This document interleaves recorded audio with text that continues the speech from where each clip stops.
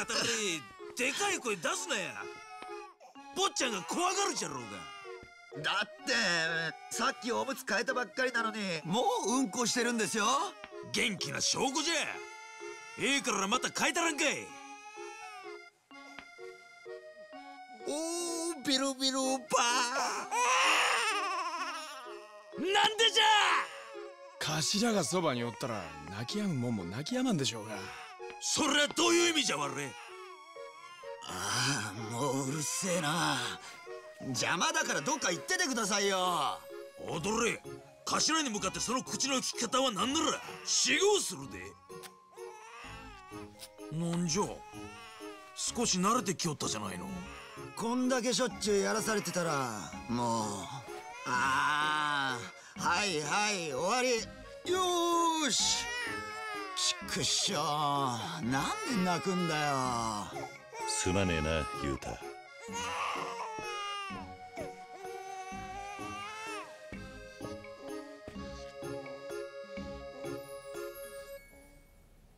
ほうやっぱり兄貴んところが一番落ち着くんかの？どうだかな。本当はこいつも母親の腕に抱かれたがっているはずだ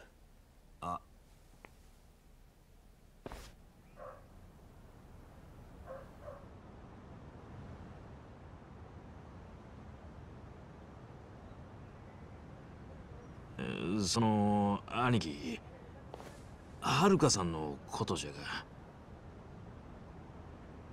ああ実はゆうべお前から話を聞いた後すぐにスナック清美に行ったんだ。キヨちゃんなんて言うとりました？それがあいにく不在でな。会えなかったなんじゃ？そうだったんですかい。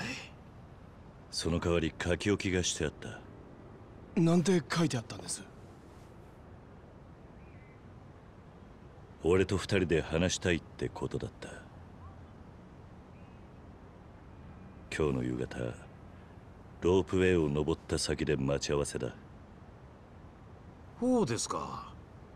わしらと同じでキヨちゃんもこれ以上は隠しきれないと思うとったみたいじゃけえの。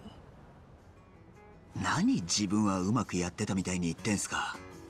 頭の場合最初からバレバレだったじゃないですか。バカたれ。そがなことなわい。現に兄貴だって昨夜までは全然気づいたらせんかったじゃろ。いや。割と最初から分かっていたぜ。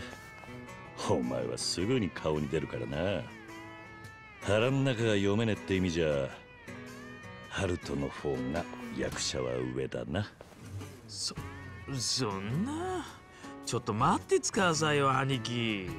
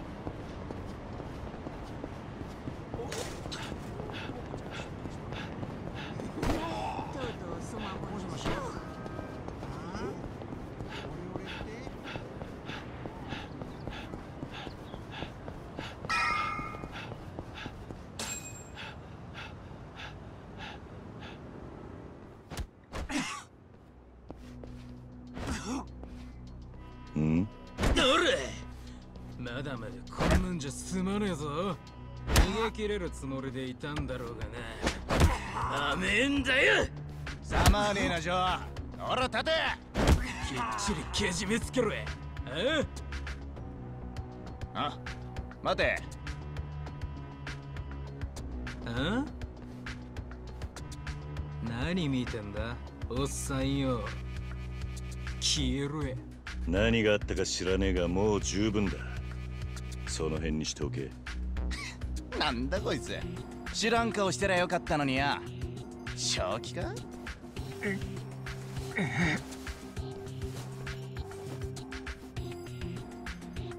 大丈夫かお前？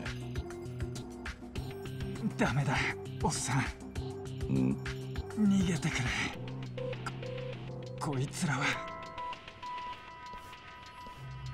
もう遅えトロくせえ親父見てるとムカついてしょうがねえんだ。お前らは何なんだ？俺らはなジャスティスだよ。ジャスティス？僕はジャスティスの孔明。おっさんは名乗る必要ねえぞ。どうせすぐあの領域で。ジャスティス的に回したらどうなるか。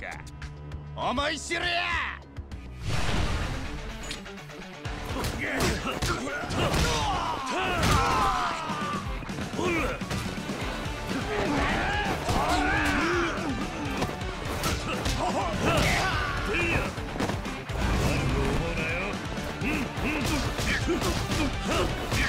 助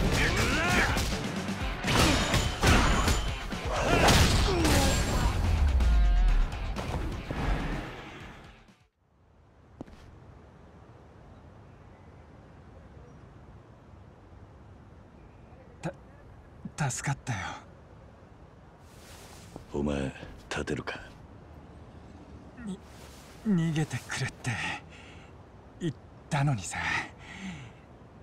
すげえなおっさん。医者に見せた方が良さそうだな。それより早くここを離れねえと。ジョーさん！ひでえ。ジャスティスの奴らここまでやるなんて。お前こいつの仲間か。あはい。あのジョーさん助けてくれたんですよね。そのありがとうございます。礼はいい。それより追っ手が来たら面倒だ。とりあえずこいつを移動させるぞ。ははい。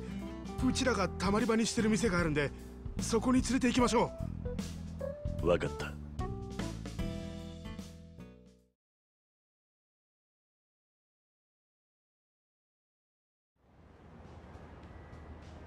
まさかこんなところがアジトとはな。う俺の妹がバイトしてるんです。マスターもいい人で友達になりまして。お前らと友達になった覚えはねえよ。たく。勝手に人の店をたまり場にしやがって。あの桐生さん。すみません。兄たちがご迷惑をおかけしてるみたいで。兄ちゃん私ジョーさんに痛み止め買ってくるよ。ああ頼む。あの桐生さんでしたよね。改めまして俺は正雄って言います。ジョーさん。いや城島さんとは同じ小学校で俺が1年の時城島さんは6年でした。俺らにとってジョーさんは伝説的な不良でそれがこの間何年ぶりかで尾道に戻ってきたんです。そん時はもう町中の悪ガキどもが浮かれて大騒ぎでしたよ。ジョーさんは東京まで行って名を挙げたすげえ人なんです。カムロ町でジャスティスっていうでかい組織を作った幹部の一人ですから。何？分かってます。さっきジョーさんを襲ってた連中もジャスティスだって言いたいんですよね。俺らもまだ詳しくは聞いてないんですけどジョーさんどうも組織から綺麗に抜けられなかったみたいなんです。それでジャスティスのメンバーが何十人もジョーさんにけじめつけようと来てるらしくて。わざわざカムロ町から追ってきてるのか。俺もこの間カムロ町でそいつらを見かけたが一体何なんだ？そのジャスティスって連中は。そっか。あんたカムロ町から来た人なのか。さっきは助かった。あんたがあそこに居合わせなかったら今頃どうなってたかわからないあんたは命の恩人だ。けど俺を助けたせいであんた自身がちょっとまずいことになると思う。うん？あんたも連中にジャスティスに目つけられちまった。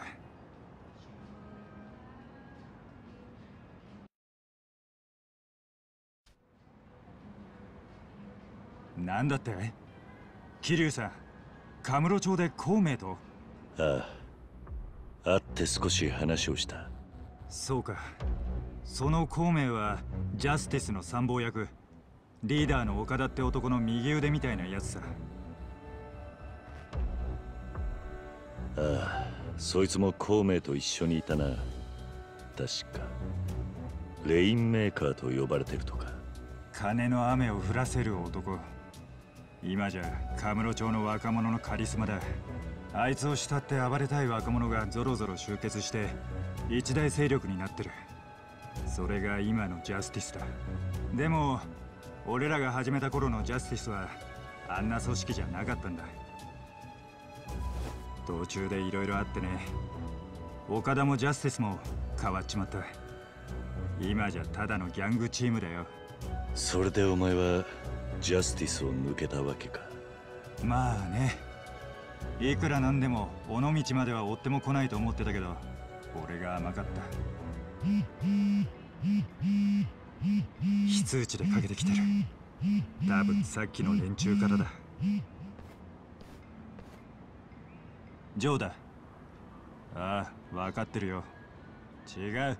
さっきのおっさんは無関係の通りすがりだ。ジャスティスのことも何も知らない。何？おいちょっと待て。ジョーさん？奴らお前の妹をさらった妹って？え幸子が？嘘でしょ？無事に返して欲しければ桐生さんを連れてこいって。え？分かった。奴らのところに案内しろ。今の状況分かってんだろ。奴らのところに案内しろって言うけど相手はジャスティスだ。100人以上いるかもしれない。殺されたっておかしくないぜ。相手が10人なら助けに行って100人なら助けに行かないのか。お前は俺はそんなダセい基準で判断はしねえ。女を人質に取る連中が気に食わねえから行くだけだ。俺仲間集めてきます。地元の悪ガキ連中集められるだけはっきり言って奴らは日本で最大のギャングだぞ。そこまでちゃんと分かってんのか？相手が最大のギャングだからとか。そんなダセい基準で判断するのは俺も嫌っす。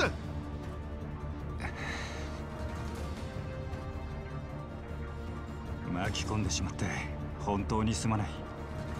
そして今までダセえこと言ってすまなかった。桐生さんやお前の言葉で目が覚めたよ。幸子を助けに行くみんな俺に力を貸してくれ。おう！すぐに仲間を集めるんで桐生さんも準備できたら俺に声かけてもらえますか。分かった。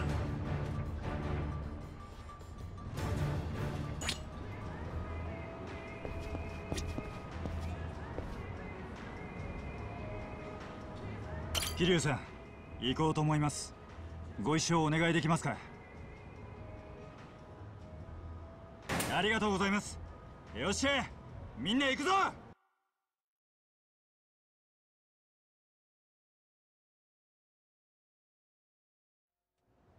やっぱり相当な数いますね。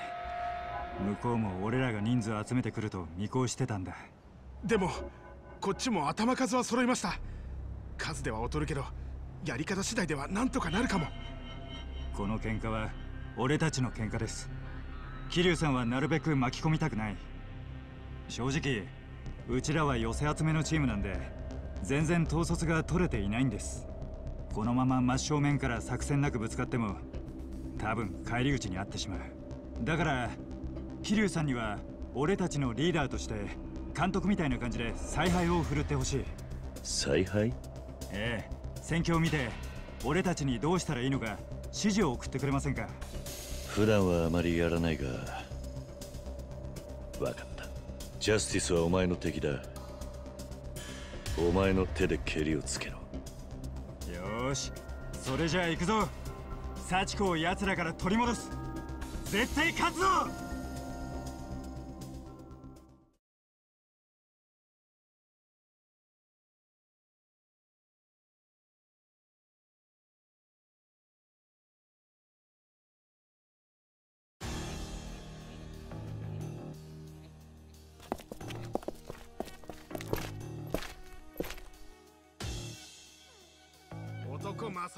様。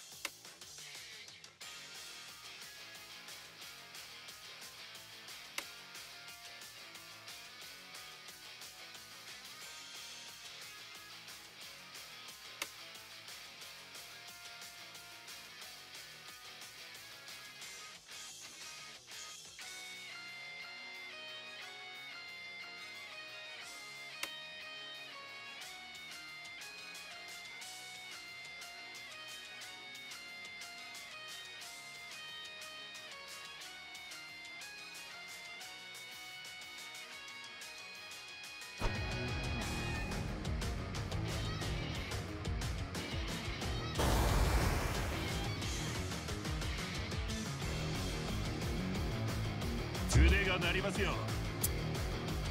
ぐちゃぐちゃにしてやる。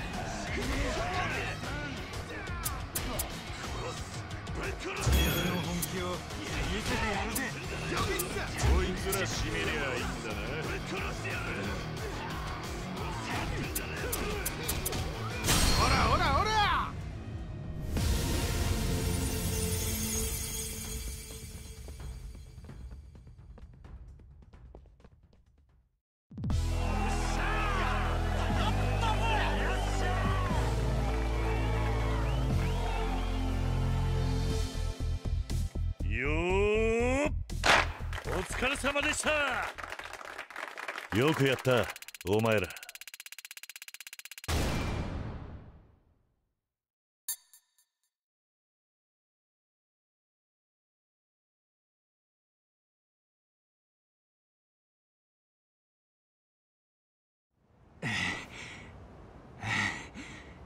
あらかた片付いたな。桐生さんナイス采配っす てめえら。俺らに手出してただで済むと思ってんのか？ジャスティスを知らねえわけじゃねえよな。何千もの兵隊がいるんだ。勝てる相手じゃねえんだぞ。こっちは上から直々に命令されてんだ。てめえらぶっ潰さねえとやべえんだよ。あんまりこういう物騒なもん使いたくねえんだけど仕方ねえよな。加勢するぜ。でも俺も体がなまってんだ。少しは運動させろ。そう。女を人質取るようなやつは気に食わねえんだ。ジャスティスなめんじゃねえぞ。てめえら死にさらせ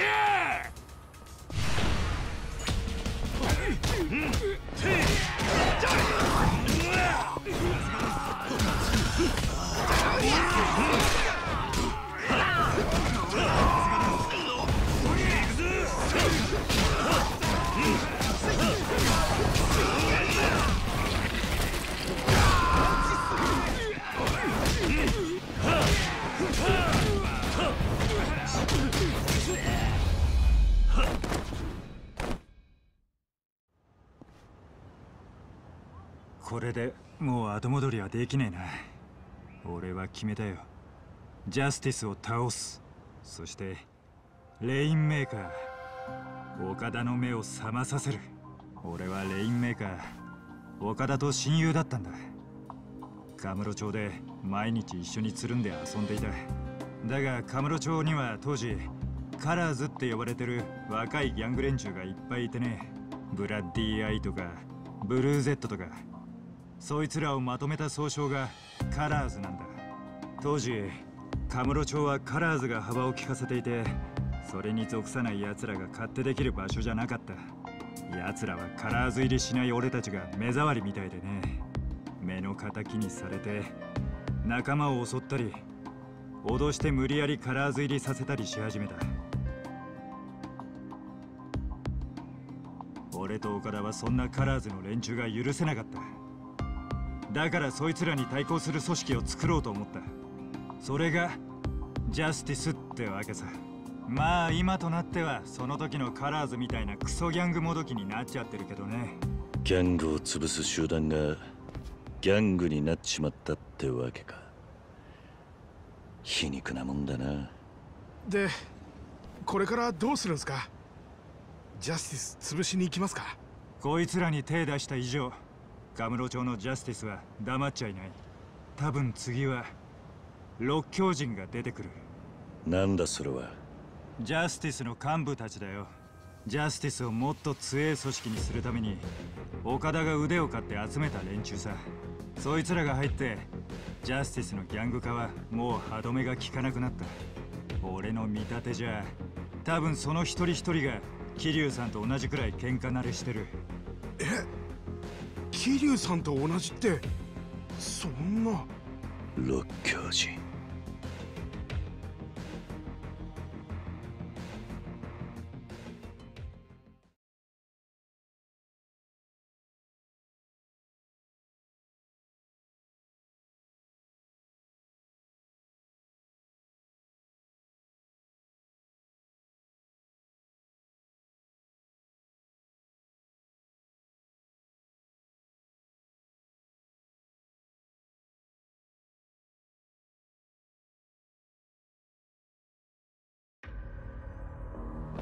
六強人の皆さんお揃いですね。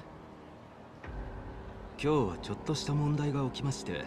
なんだよ問題ってのは。俺は忙しいんだよ。さっさとしてくれよおい。メンバーが札にパクられたとかどうせそんな話だろ？おいおいそんな理由で集めてたとしたらぶっ飛ばすぞ孔明ジョーの件だな。えなぜそれを？お前が独断でメンバーにジョーを追わせていると聞いた。おいおい孔明。何勝手なことやってんだ。岡田はジョーをほっとけと言ったはずだ。その命令を無視したってことか。まあまあまあ。別にいいんじゃねえか。組織から足を抜けるにはそれなりの代償がつきもんだ。それはジョーがジャスティスの創設メンバーだからって例外じゃねえジャスティスは一応巨大組織だ。締めるとこは締めねえと。下に示しがつかねえだろまあ確かにな。でちょっとした問題が起きたってのは何だ？よ結論から言うとジョーがうちが送り込んだ部隊を返り討ちにしました。何？ジョーはうちを抜けた後故郷の尾道に向かったんですがどうもそこで地元の仲間たちがジョーの助けに入ったようでちょっとした問題じゃないな孔明。大失態だ。ジャスティスの看板に泥を塗りやがってよ。も申し訳ない。矢野。あこれは軍資金だ。すまないが尾道へ行ってくれ。なんだよ。また俺か。まあいいけどよ。その代わり余った金は俺の財布に入れさせてもらうからな。勝手にしろ。ただし六強人として当然失敗は許されない。しくじって帰ってきやがったらたっぷりお仕置きしてやるからな。いやしくじったら帰ってくる席なんかねえぞ。それがジャスティスのルールだろ。分かってんだようるせえな。くだらねえ心配すんなよバカ野郎。さーてじゃあ荷造りでもするかね。旅行ガイドも買っとくかやってくれたなジョー。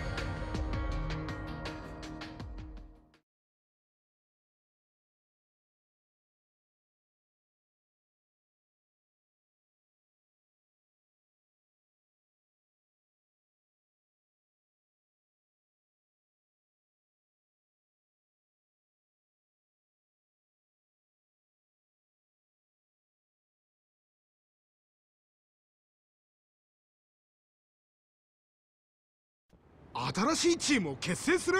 ああジャスティスはきっと六強人を俺たちのもとに仕向けてくるに違いねえ。あいつらに対抗するにはうちもそれなりの人数を集めてチームを作る必要がある。よーしジョーさんをリーダーにした新チームジャスティスよりでかいチームにしましょいやリーダーは俺じゃない。えじゃあ誰が？桐生さん俺たちのリーダーになってもらえないか俺が？ああジャスティスはでかいチームだ。対抗するにはうちもでかい組織にする必要がある。だが俺は管理とか人を束ねるとかが大の苦手でね。そんな俺が少なくとも今の俺が上に立ってもチームはまとまらねえと思うんだ。ジャスティスに勝つには桐生さんの力がどうしても必要なんだ。頼む。力を貸してくれ。お前の気持ちは分かった。だが俺には他にやることがある。俺男としてけじめをつけたいんだ。それにあいつの岡田の目を覚まさせたい。あいつは俺の大切な親友なんだ。道を外しちまったあいつを放っておけないんだよ。道を外した親友か。分かったよ協力してやる。だから頭を上げろ。桐生さんありがとう。改めてよろしく。よろしくお願いします。あところでチーム名は何にしましょうかね。ジャスティスみたいな英語っぽいのがいいですかね。チーム名？チームを作るんだからまずはチーム名を決めるのが普通でしょ。クールな感じがいいっすね。ジャスティスみたいな英語っぽいのがいいっすかね。そうだな。いやそこはリーダーに決めてもらおう。俺が？はい。桐生さんがリーダーだからそれが分かる感じだとなおいいかもな。頭文字の K を取って K2016 とか桐生維新軍。ちょっと古臭いな。うん。俺の名前が入ってるチーム。名気流会。なんてどうだ？気流会？なんだなんだ？組織といったら大体組とか会とかだろまあまあそりゃそうっすけどなんかヤクザみたいだな。いやいいんじゃないか？リーダーが決めたことだ。気流会をここに結成しましょう絶対にジャスティスを倒す。そして俺たちのホームである尾道や仲間たちを守って岡田の目を覚まさせる。しゃあやってやるぜ！やれやれ。でリーダーになるのは分かったが具体的に俺は何をすればいいんだ？桐生さんにはこの前の時みたいに戦いの時に采配を振るってほしいんですそれと桐生会をうまくまとめてほしい。うまくまとめる？はい。今はまだそんなにメンバーいないけどこれからどんどん増えていくと思います。そうなるとただでさえ若い連中の寄せ集めだし統率が取れなくなるっしょ。桐生さんには年の子を生かしていい感じにチームを組織としてまとめてほしいんだ。おいおい。丸投げもいいとこだな多分俺の所属していた組織と似た感じの構成になっちまうぞ。それでもいいのか？ええ何でもいいっすよ。っていうか桐生さんどんな会社に勤めてたんですか？それは企業秘密だ。ほう。まあいいや。じゃそんな感じで桐生さんの会社風にお願いします。出撃やチームの編成をしたい時には俺に声をかけてください桐生さん。あのこの前は助けていただいてありがとうございました。気にするな。無事でよかったな。はい。あのうちの兄たちが無理やり巻き込んでしまったみたいですみません。ああ。まあ仕方ない。引き受けちまった以上なんとかするさ。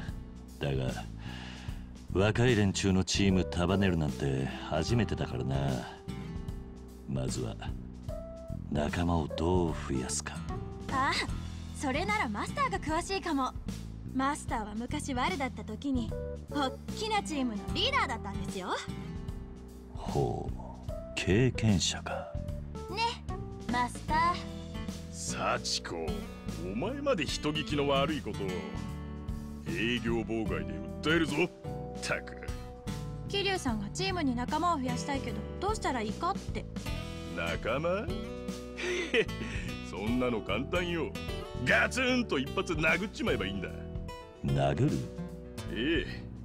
この辺には生きがっている若い連中ってのがちらほらいるんですよ。田舎の悪いところでね。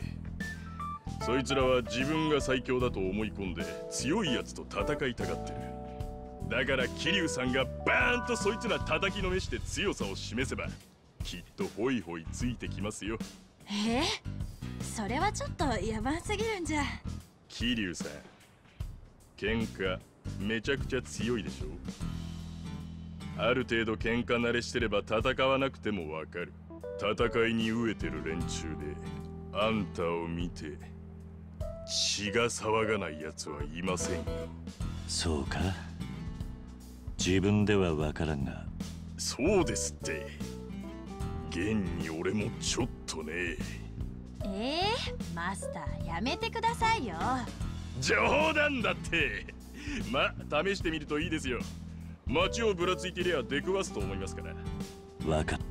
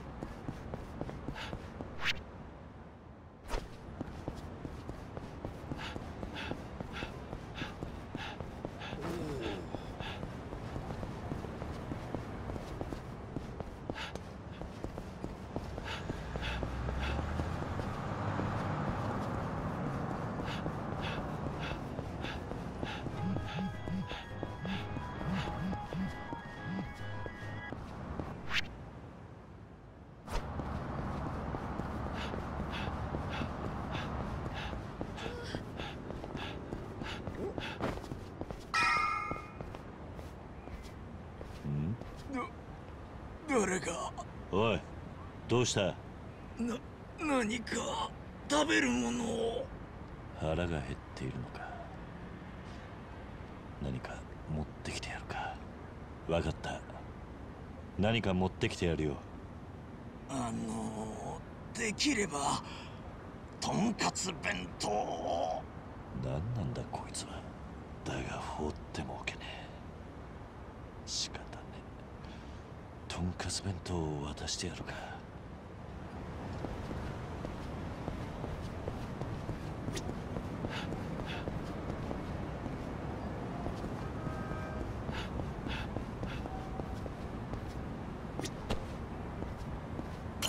チケット買われますか？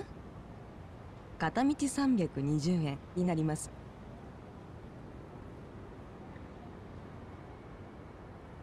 いや今はいい。またお願いします。運行は夕方までとなりますのでご注意ください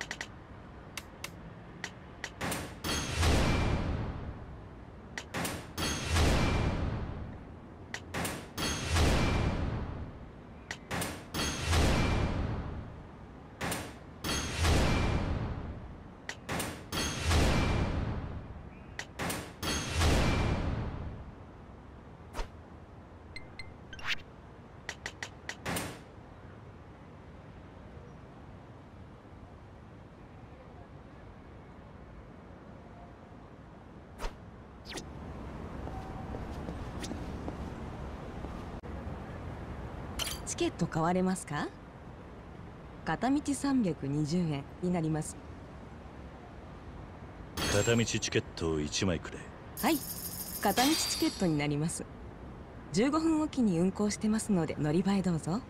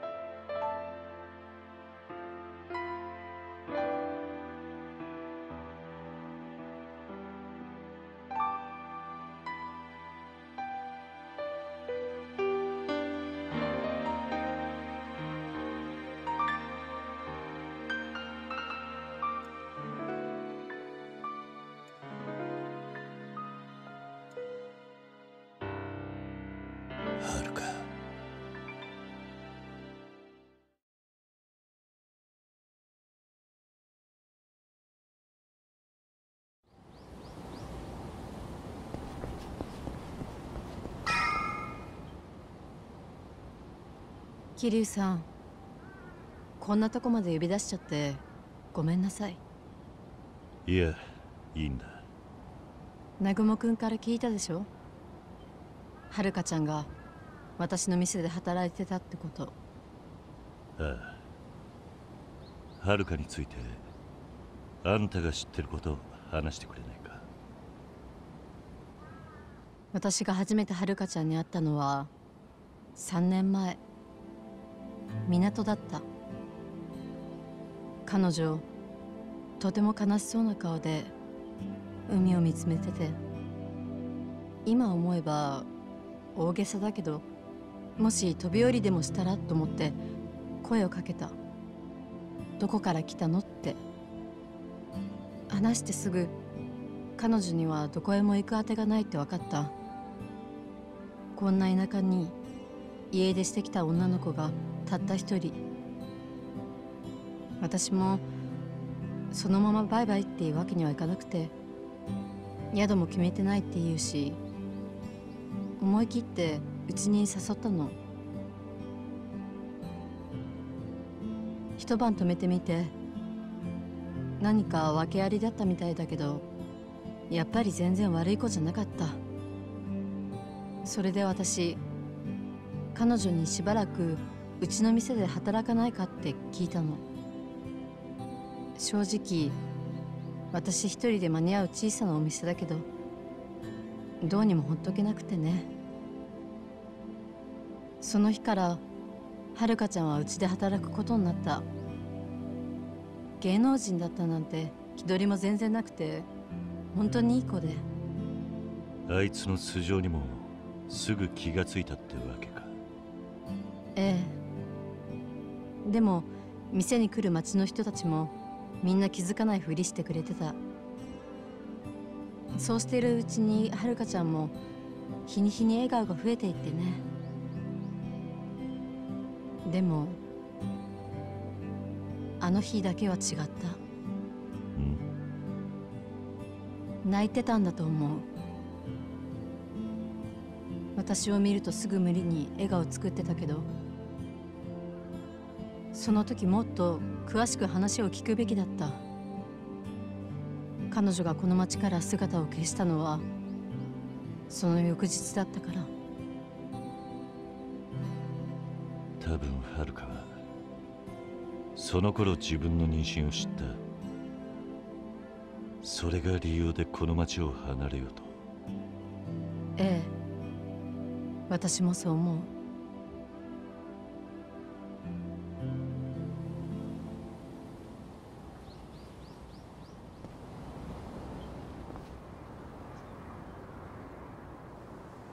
それでハルトの父親は誰なんだ？ごめんなさい。それは私も知らないの。お店にいた時も誰かと付き合っているような素振り見せなかったから。そうか。でも心当たりはあるの。確証はないけど多分。本当か？一体誰なんだ？それは。おーい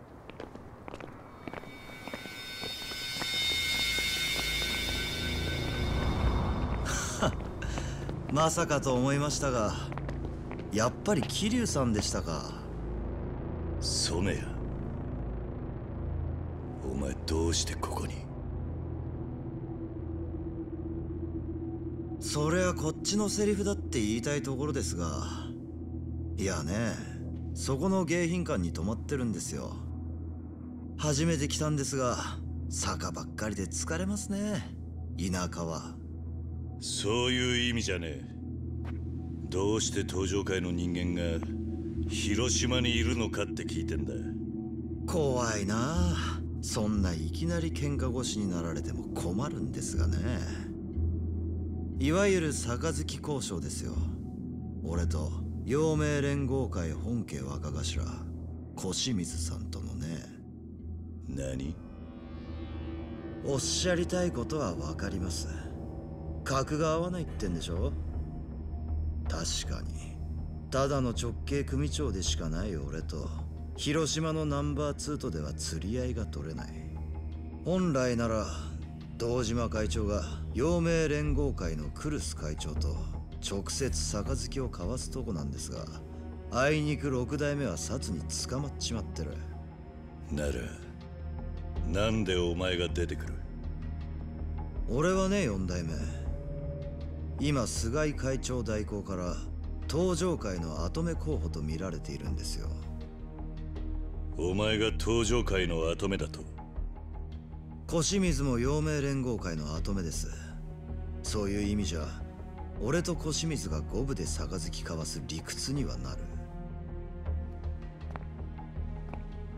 お気に召さないようですね。なんなら四代目が復帰して代わりに杯交わしますか？俺は別に構いませんよ。どうも俺たち二人には何か縁があるようですし。縁？こんなとこでばったり会うってのもそうですがあんたが一緒に連れているのは俺の前の女だ。久しぶりだな。清美戻ってきてたんだな国に。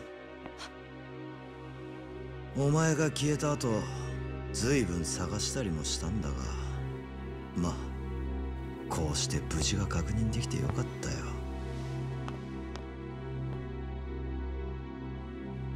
おっとそろそろ宿に戻らねえと。それじゃあ四代目失礼します。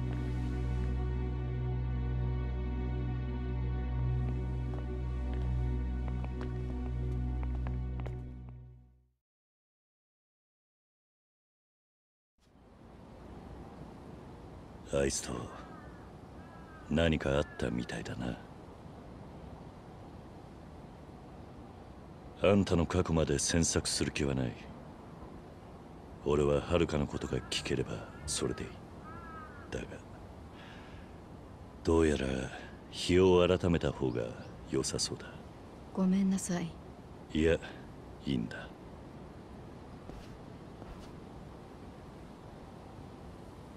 ありがとう桐生さん。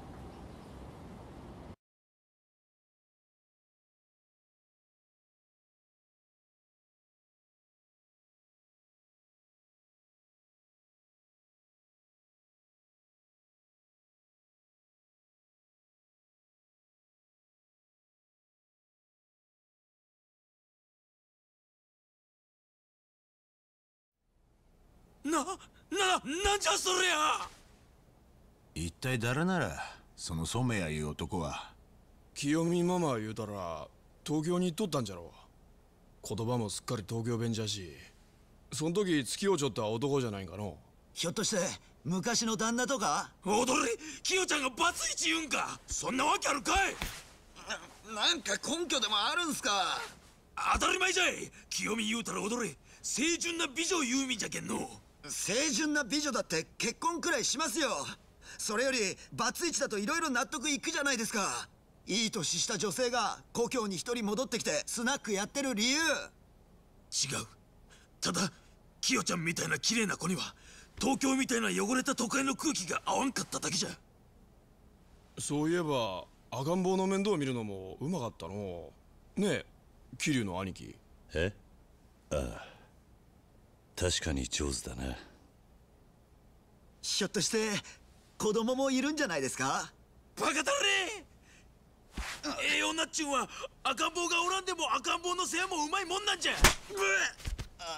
踊れら！あんましかまちたれよるとぶち殺すだまだそうと決まったわけじゃねえだろうが。あまり外野が騒ぐんじゃねえよ。あ兄貴そらそうじゃけど落ち着けんわい相手が極道じゃ言うならなおさらですわ。うん。大変じゃいいのじゃねえか。なんなら。キヨちゃんがキヨちゃんがさらわれた！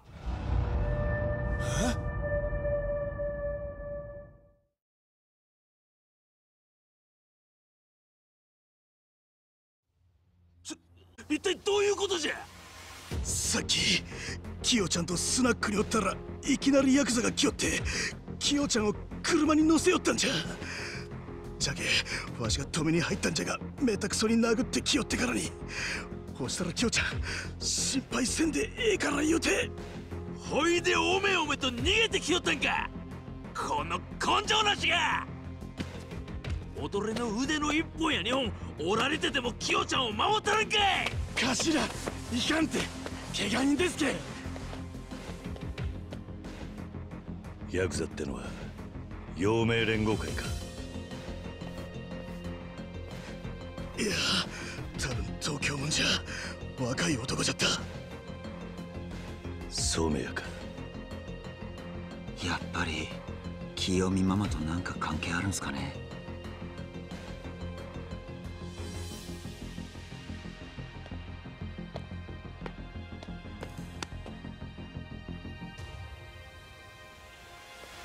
待て南雲どこに行くつもりだ？決まっとる。キヨちゃん助けに行くんじゃ。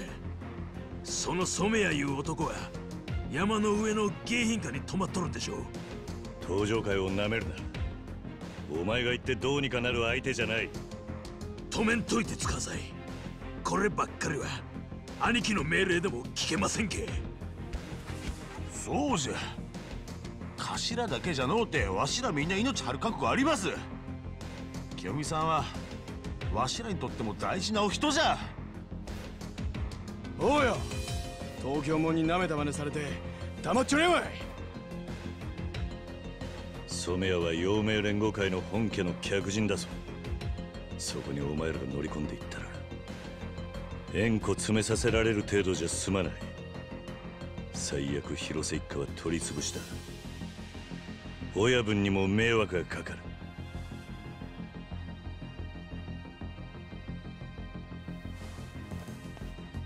じゃったらわしは破門してもらいます。それじゃったらもう広瀬一家とも関係ないですけど。惚れた女一人守れんでなんか極道じゃ。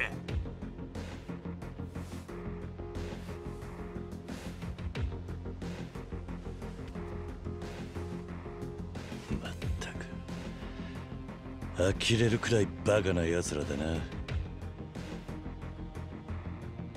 なんとでも言うてつかさんや。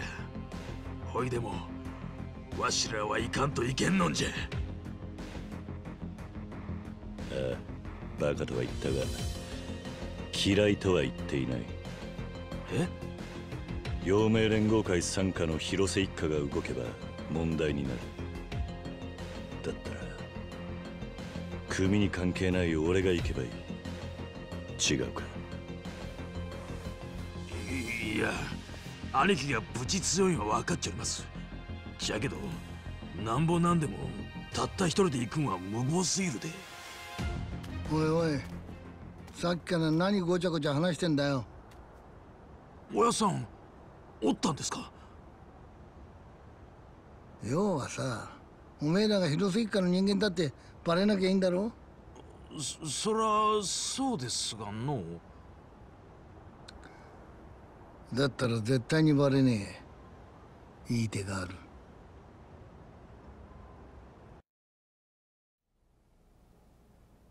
ここれ覆面？なんか泥棒みたいだな。おやっさんなんで小川も持ってるの？昔はこれかぶってムカつくやつを殴ってたもんだ。本家のやつとかバンバンな。全然バレなかったよ。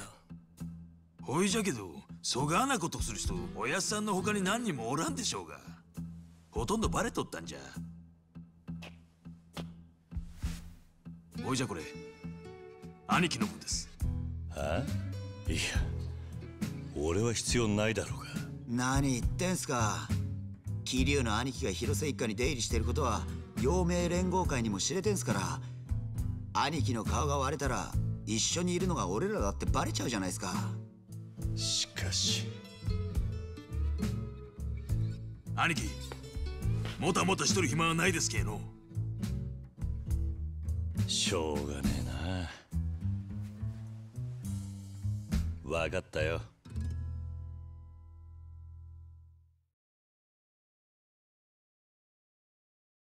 じゃあ俺はそろそろ戻るからあとはよろしく。で頭どういう作戦で行くんすか？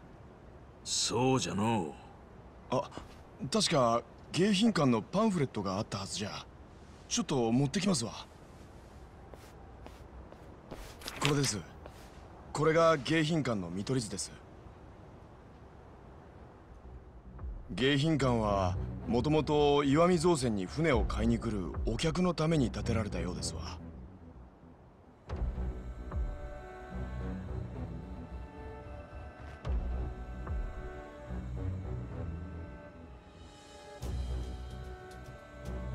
1階はロビー2階から3階までが客室エリア。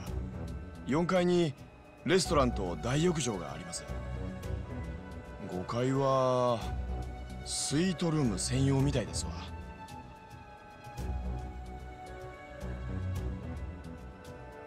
広いの問題はどこに清美さんがおるかじゃ。のんびり探してると登場会の連中に捕まっちゃいますよ。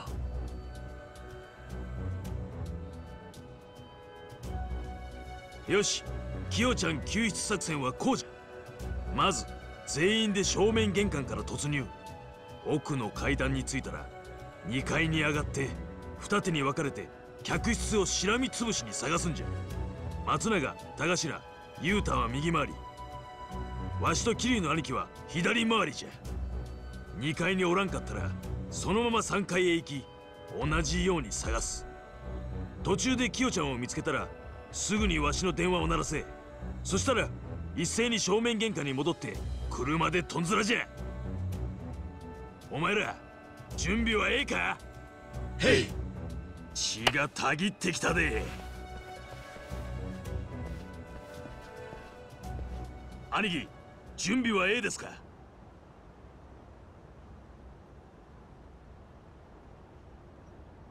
いやまだだ。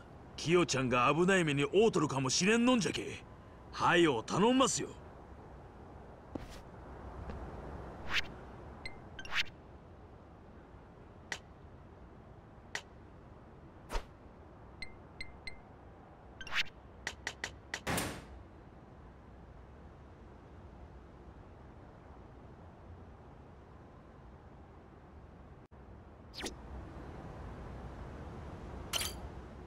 兄貴準備はええですか？ああ行こよっしゃキヨちゃん今行くで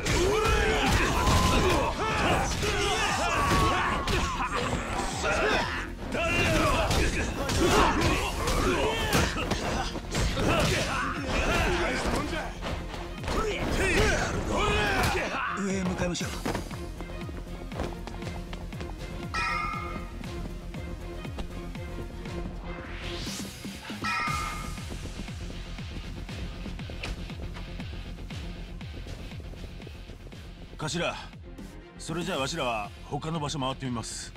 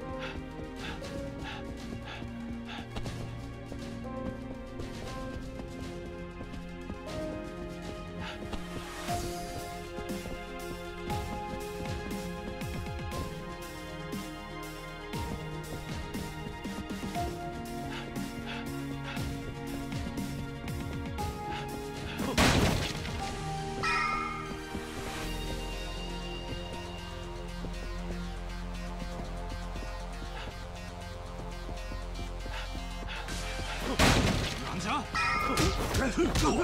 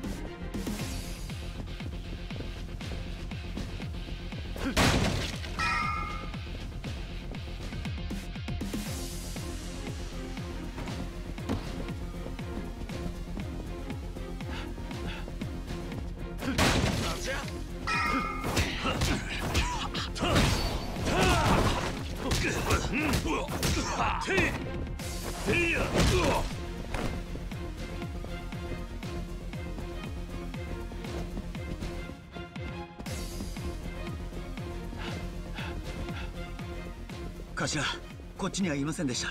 キヨちゃんここにはおらんかったか。よっしゃ次行くぞ。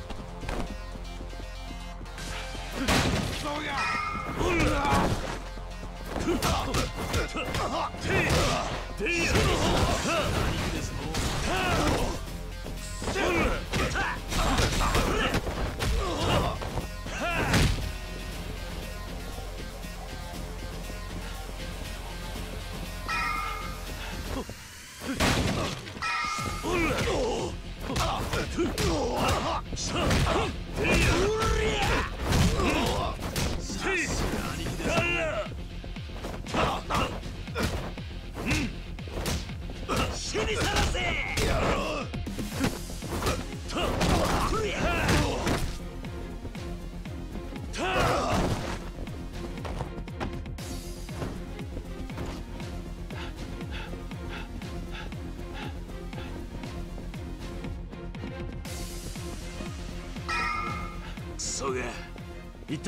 にキヨちゃんおるんじゃ？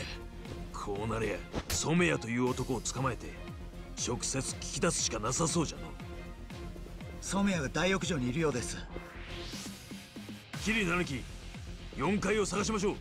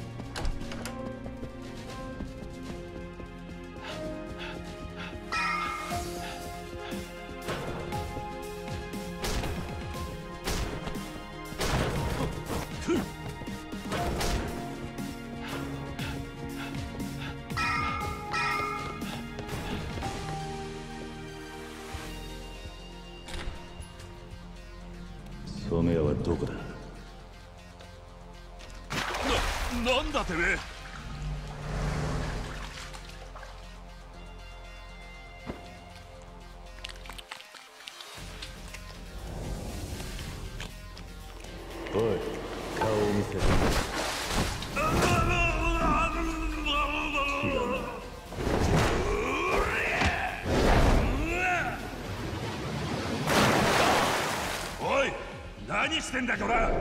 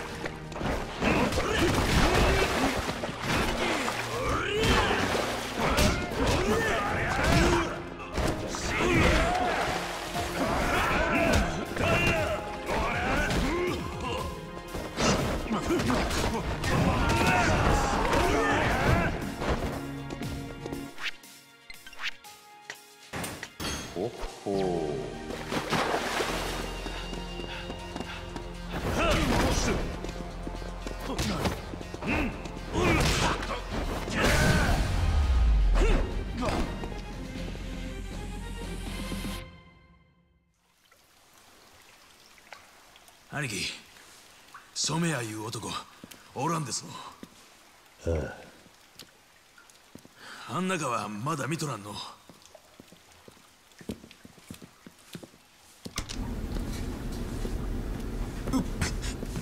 たまらんの。よりによってなんちゅう場所じゃもういけんじーっと失礼しますおおいはーい生き返るわいあなんじゃこりゃ我はナグモこれは一体何のつもりじゃ違うでわしナグモじゃ。なでバカたれ。もう遅いわ。しもうた。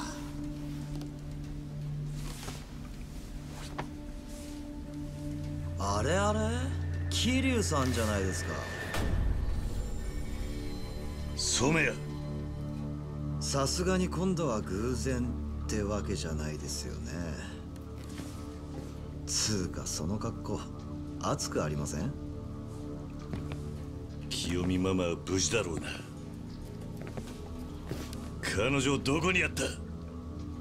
まさか四代目ともあろうお方が女一人のためにこんな無茶やらかすなんてね。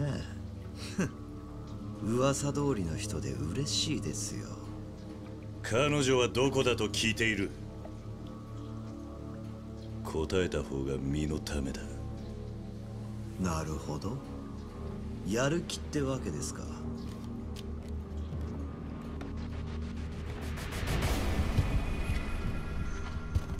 ですがあいにく俺にその気はありませんよ。何？奇襲を受けた時点でこっちの不利ですからあんたと真っ向からやり合うようなバカはしない。俺はね確実に勝てる時だけ戦ってのし上がってきた男なんですよただ単に臆病なだけにも聞こえるがな。早合点しないでください。俺はこの喧嘩まだ負けたとは言ってませんよ。ん？よく言うじゃないですか。逃げるが勝ちって。てめえ？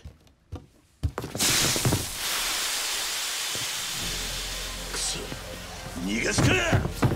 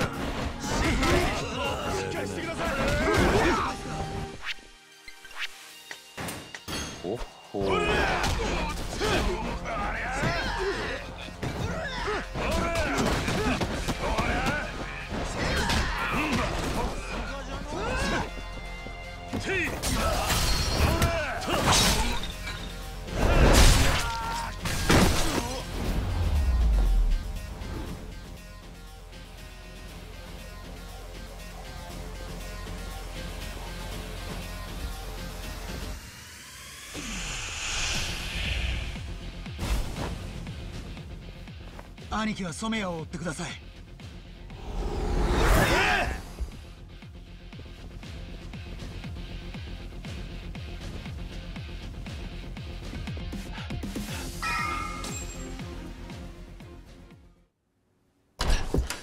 染谷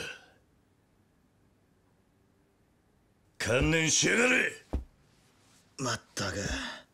せっかく風呂入ったのに汗だくじゃないですかこりゃまた入り直さねえと。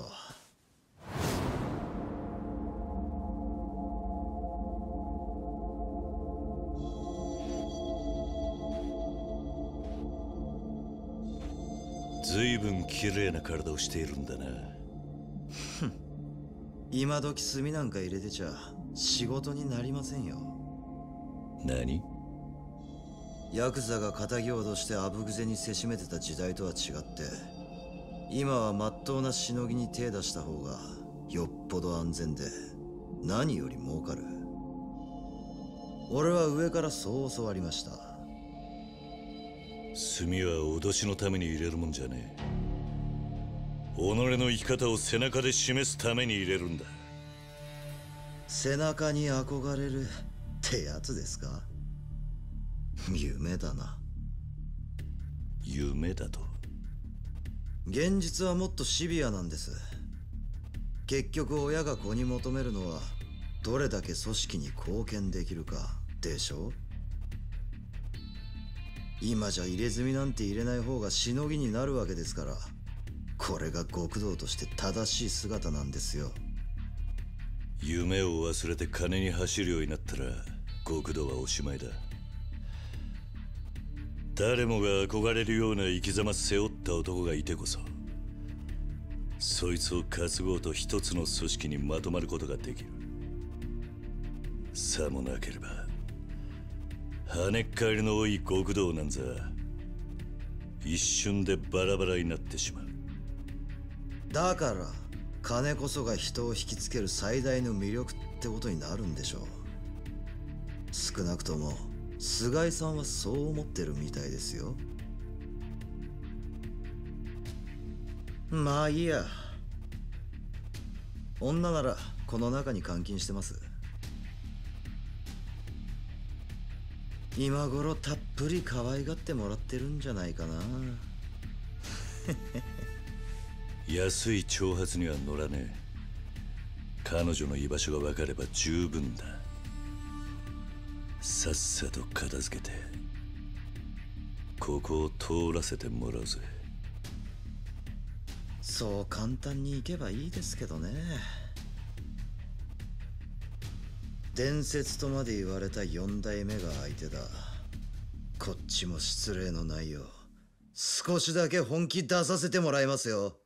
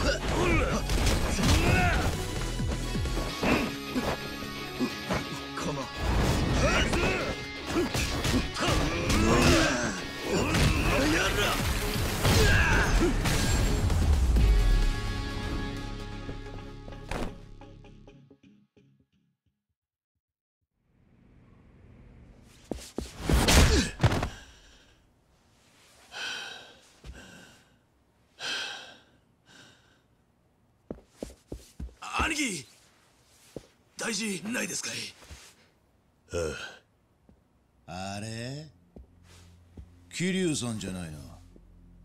それに広瀬一家のバカタレも？小清水来ると思うとりました。こちらへ。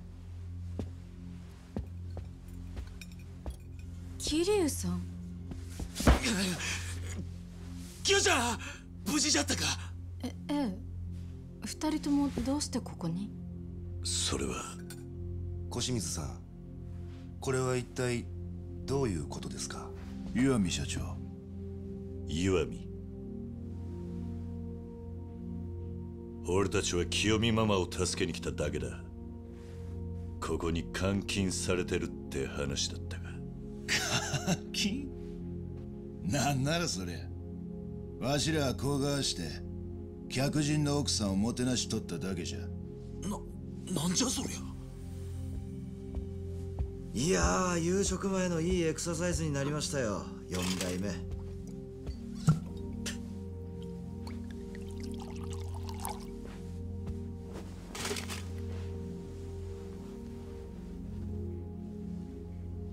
清美はね俺の前のかみさんなんです。な？ママがお前の。本当なのか？嘘じゃ！嘘に決まっとる！ししょんな。小川な町に染谷さんの奥さんがおったとは驚きじゃったがこれも何かの縁じゃと思っての。お招きしたいわけじゃ何か行き違いがあったことは分かりました。ですがこのけじめはつけていただく必要がある。そうですね小清水さん。ええもちろんですわ。広瀬一家は今日限り陽明連合会を破門。総長の広瀬にはきっちり縁故詰めさせますけ。待ってつかさい。広瀬のおやっさんは何も。やかましい！染谷さんはの東京から遠路はるばるわしらとの杯に来た大事な客人じゃ踊れなんぞの縁故で済む話か！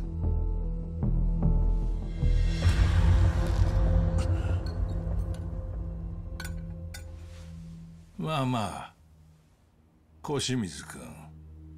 せっかくの祝いの席だ。清美さんも怖がっている。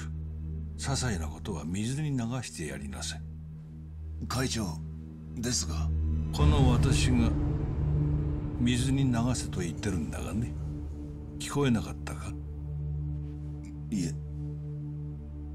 わかりました。染谷さんも構いませんか？もちろんです。もともと私が招いた誤解ですから。あんたは？岩見造船会長岩見平蔵と申します。4代目。岩見会長は岩見造船をはじめとする岩見グループの長老ですがもう一つ別のお名前がありましてね。クルス・タケルクルス陽明連合会会長です。クルス・タケルはいわゆる都政名なんです。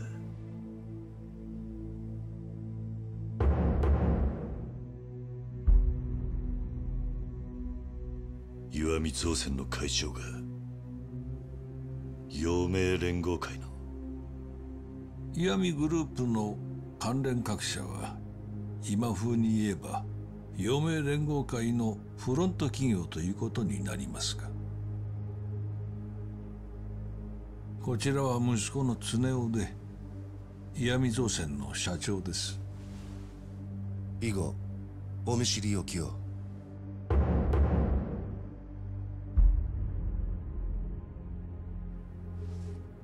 俺の名前は桐生一馬。東上会の四代目でしょう。当然存じておりますどうも。水が入ってしまいましたな。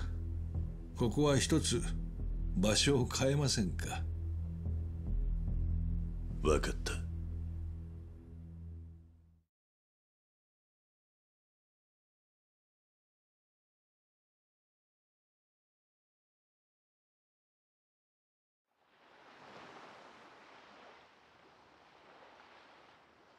いい眺めでしょう私はこの海から見た尾道の眺めが一番好きだ。それに大事な話をするのに海の上ほどうってつけの場所はありません。周りに聞き耳を立てる者は誰もいない。大事な話？実は桐生さんあなたに折り入ってお願いがあります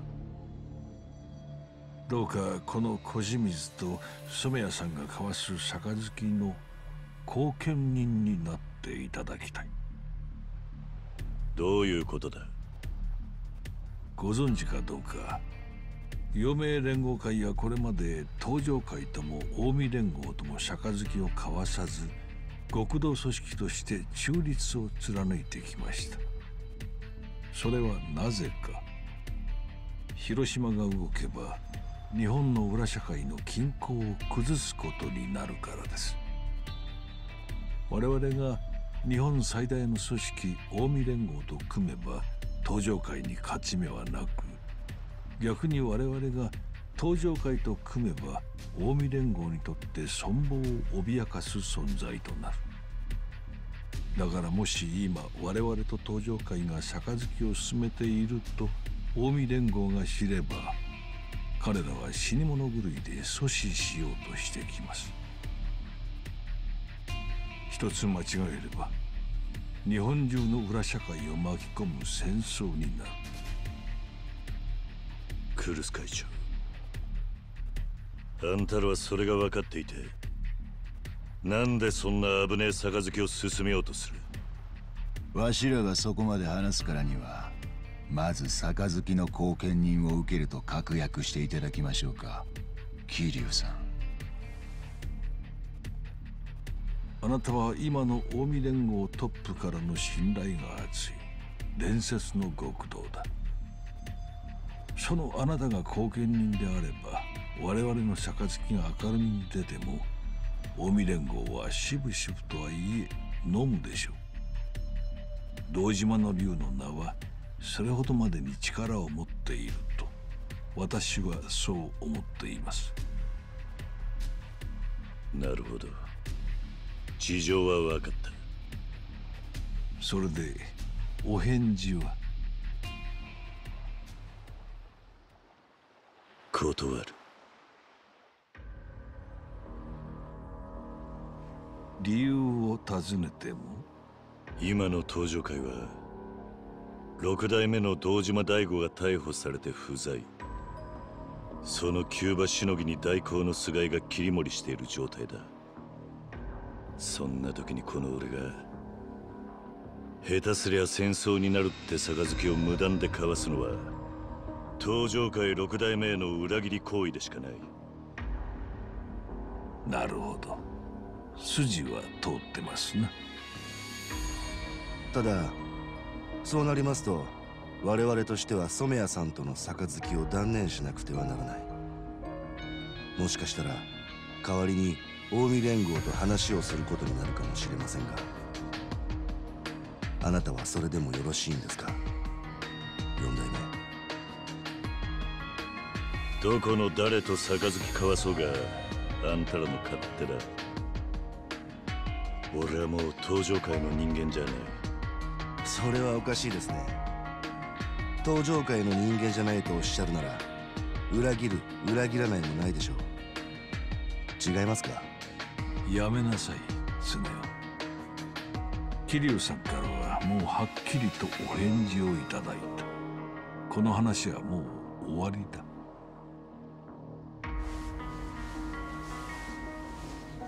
失礼しました会長いきなり無粋なご相談をしてしまってすいませんでしたな。年を取るとどうも話を急いでしまっていけない。いやそれじゃあ食事の続きをするとしましょう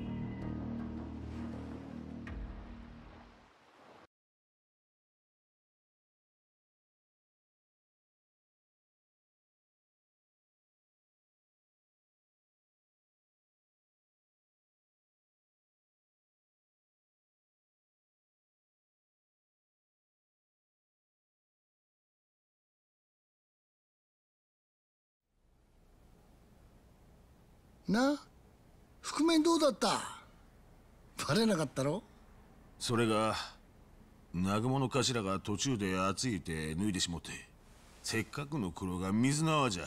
なんだ南雲お前。根性ねえな。キヨちゃんがん？そんな嘘じゃ。こいつどうしたんだ？まあいっか。よし俺が覆面の使い方を教えてやる。高頭お前ちょっとこっち来い。桐生さん。笑ってんじゃねえてめえ。ママ帰らなくていいのか？桐生さんを待ってたの。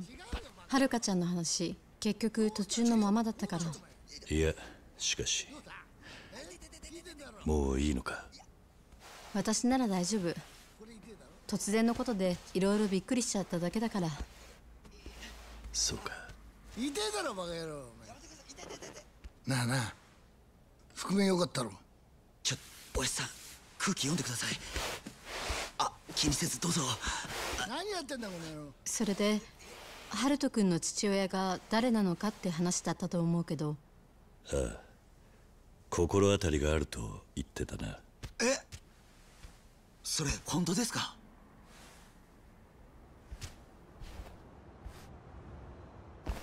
うん私ね達川君がハルト君の父親なんじゃないかって思うの。はあ？誰なんだ？俺の幼なじみで一緒におやっさんの杯受けた兄弟分です。広瀬一家の組員なのか？いやそれがずいぶん前に組抜けまして清美さん。なんで達川じゃって思うの？ちょうどはるかちゃんがこの町からいなくなる少し前に達川君うちの近所で誰かと電話をしていてこう言っていたの。産んでも絶対二人とも幸せになれない。下ろすべきだって。おろすって赤ちゃんをですか？そうでしょうねもしかしてそん時の達川の電話の相手がはるかちゃんじゃった言うんで？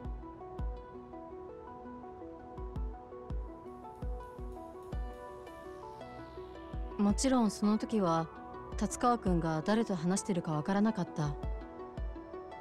だから嫌な話聞いちゃったくらいに思ってたんだけど。でもその後姿を消したはるかちゃんがハルト君を産んでたってことは。その達川は今どこにいる？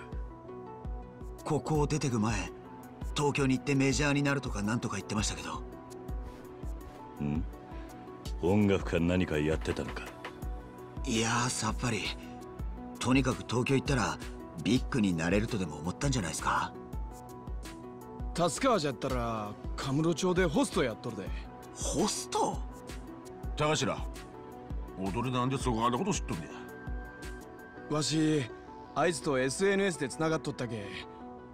東京に行った後もちょくちょく近況報告受け取ったんです。は？なんで俺に知らせずにお前にだけ教えてんの？